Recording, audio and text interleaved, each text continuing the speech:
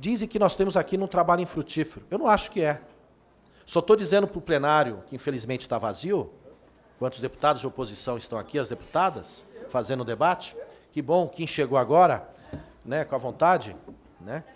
É, é, então, presidente, como pode um, um, um, um, juiz determinar a condução coercitiva de um réu que ele sequer tinha chamado para depor anteriormente?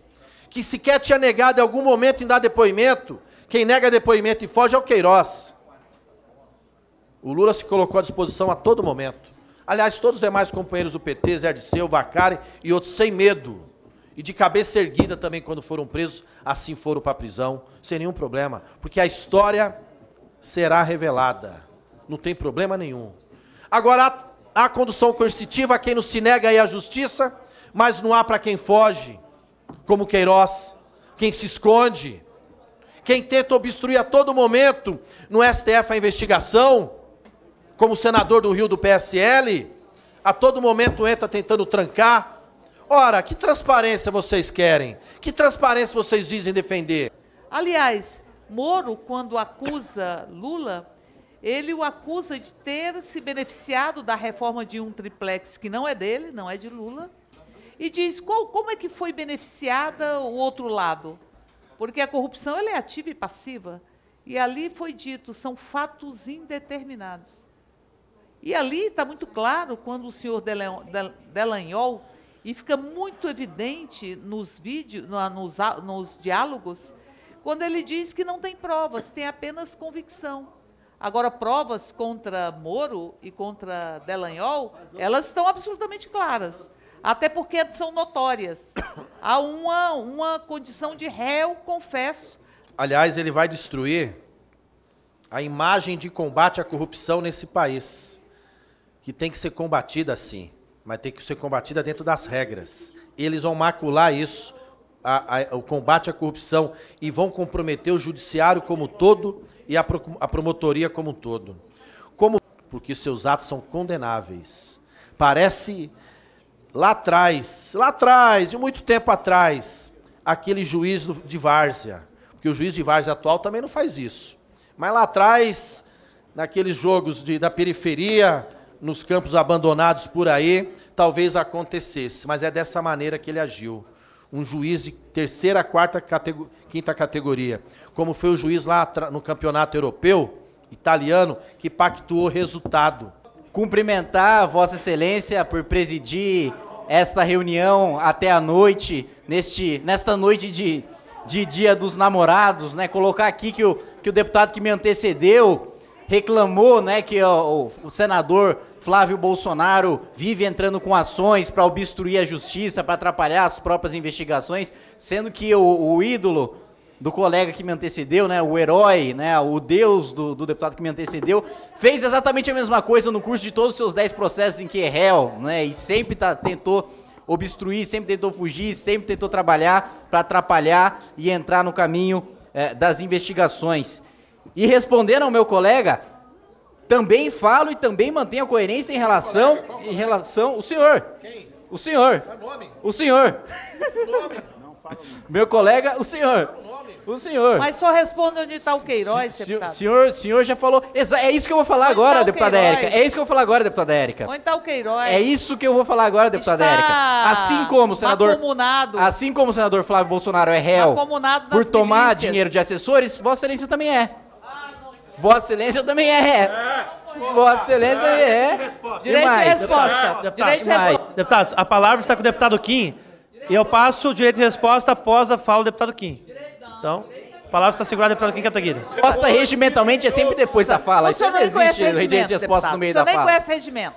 Também é, e mais, e falo também do senador falar Bolsonaro não tem problema nenhum de dizer que é absolutamente indefensável.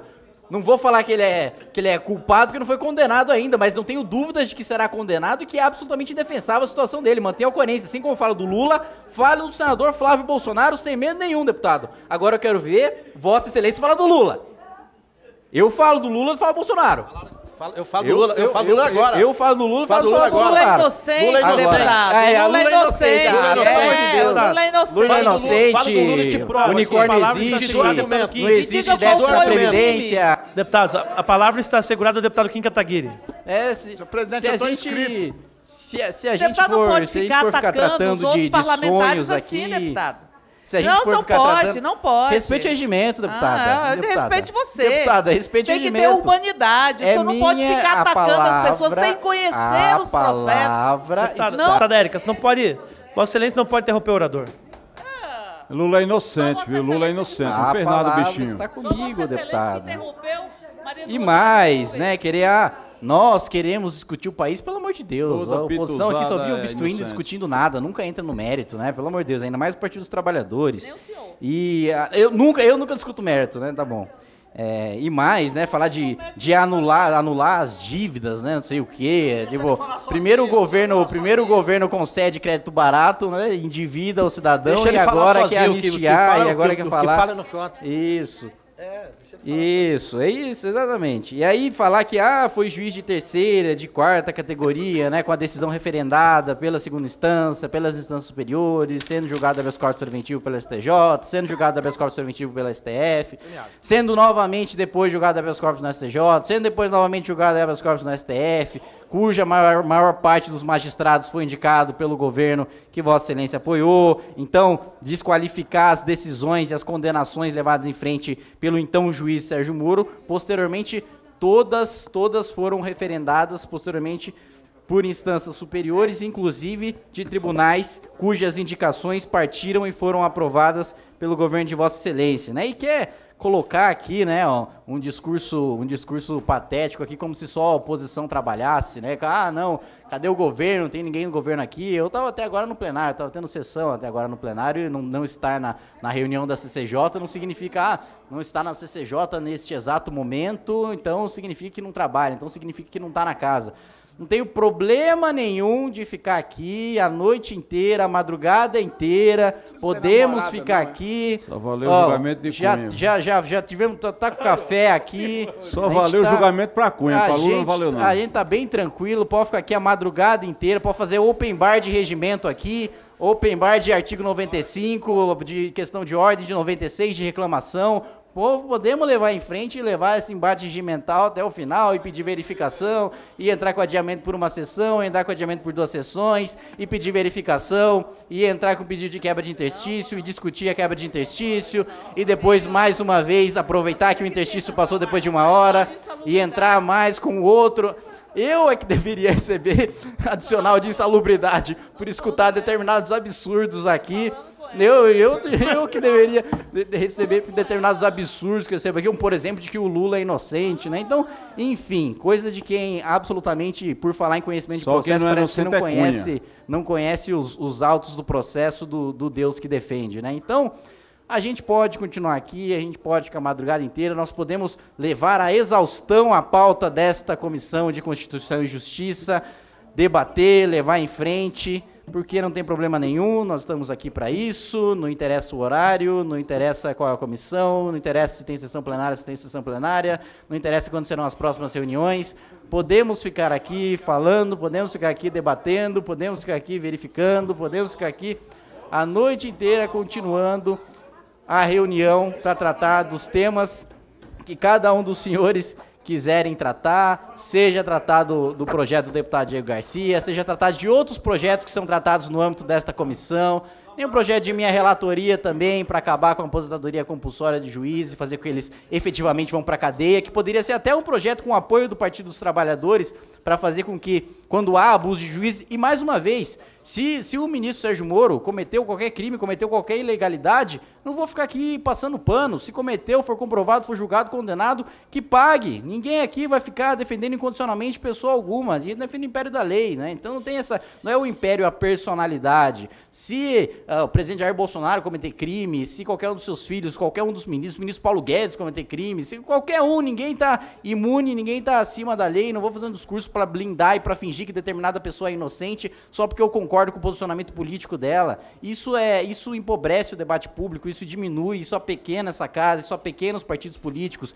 Isso transforma a política em fla-flu, transforma a política em torcida, faz com que, ah, não, então eu vou torcer pro meu preso aqui, enquanto o outro de lá vai torcer pro preso de lá, eu vou torcer pro meu réu aqui, enquanto o outro vai torcer pro réu de lá, eu vou torcer pro meu investigado aqui, enquanto o outro vai torcer pro investigado de lá. Vamos torcer para investigado nenhum, não vamos torcer para réu nenhum, não vamos torcer para condenado nenhum. Vamos efetivamente fazer com que a lei seja cumprida e sendo parlamento e sendo que as leis saem justamente desta casa legislativa para fazer com que sejam cumpridas tanto em questões nos debates que nós temos aqui em mérito, como em forma que nós também sabemos que na democracia a forma importa tanto quanto o conteúdo, a maneira como as coisas são feitas importa tanto quanto, tanto quanto conteúdo, essa é da natureza da democracia, justamente por isso nós temos, e que vem sendo tão discutido no plenário, e mesmo no âmbito da CCJ, a equidistância do juiz para o acusador e para a defesa, tende a existir, tende a ser defendida, tende a ser mantida. Agora, precisa ter coerência. Se você defende a aplicação da lei para um, você precisa defender a aplicação da lei para todos. Você não vai falar, ah, não, para os meus amigos a lei não vale. Eu confio na justiça, mas quando a justiça condena o meu político, ela não vale. Eu confio no Ministério Público, mas quando o Ministério Público denuncia o meu político, ele não vale. Então, tem essa seletividade que, mais uma vez, só empobrece, só diminui, só pequeno debate público, só transforma a política em torcida de futebol, de MMA, só transforma a TV Câmara num, num imenso é, picadeiro para fazer com que os, os parlamentares fiquem se, se estapeando e não debatam mérito e que efetivamente a casa não produza o que precisa produzir.